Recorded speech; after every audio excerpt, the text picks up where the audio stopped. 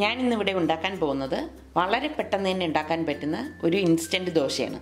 അതിന് വേണ്ടിയിട്ട് ഞാനിവിടെ ഒരു കപ്പ് വറുത്ത അരിമാവും ഒരു ടേബിൾ സ്പൂൺ മൈദയും എടുത്തിട്ടുണ്ട്.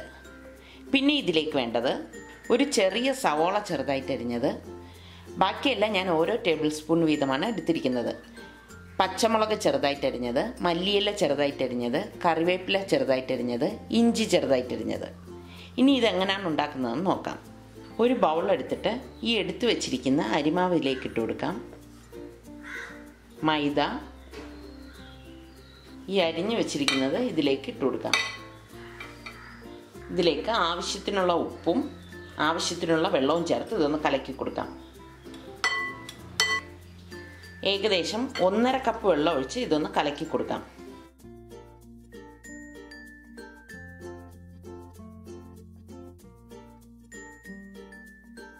വല്ലാതെ ഇത് കട്ടി കൂടുതലാണെന്ന് തോന്നിയാൽ അരക്കപ്പ് വെള്ളം കൂടി ഇതിലേക്ക് ചേർത്ത് ഒന്ന് ഇളക്കി യോജിപ്പിച്ചെടുക്കുക ഈ ഒരു പരുവത്തിൽ വേണം ഇത് കലക്കിയെടുക്കേണ്ടത്.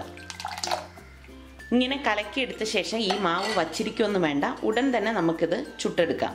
ഇനി ഇത് എങ്ങനെയാണ് ഉണ്ടാക്കുന്നത് നോക്കാം. പാൻ ചൂടാകുമ്പോഴേക്ക് ഈ കലക്കി വെച്ചിരിക്കുന്ന മാവ് ഒരു സ്പൂൺ ഇതിലേക്ക് ഒഴിച്ചു കൊടുക്കാം. ഇത് നമ്മൾ ആദ്യം ഹൈ ഫ്ലെയിമിലിട്ട് മാവ് ഒഴിച്ച ശേഷം ഇത് ലോ ഫ്ലെയിമിലേക്ക് ഇട്ട് വേവിച്ചെടുക്കുകയാണ് ചെയ്യുന്നത്. എങ്കിൽ മാത്രമേ ഇതുപോലുള്ളൊരു ഡിസൈൻ ഇതിലേക്ക് വരത്തുള്ളൂ.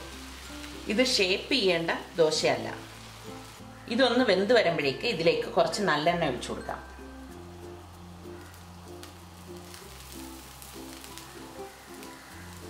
ഇതിവിടെ വെന്ത് വന്നിട്ടുണ്ട്. ഇനി നമുക്കിതൊരു പ്ലേറ്റിലേക്ക് മാറ്റാം.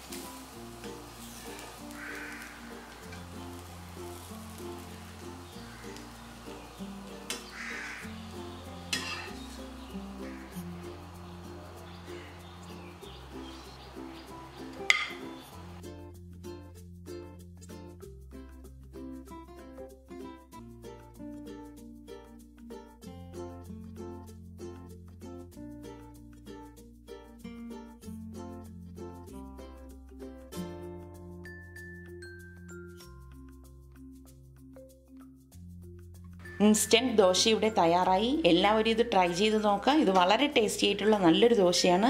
ട്രൈ ചെയ്ത് നോക്കി. ഇഷ്ടമാണെങ്കിൽ സബ്സ്ക്രൈബ് ചെയ്യുക.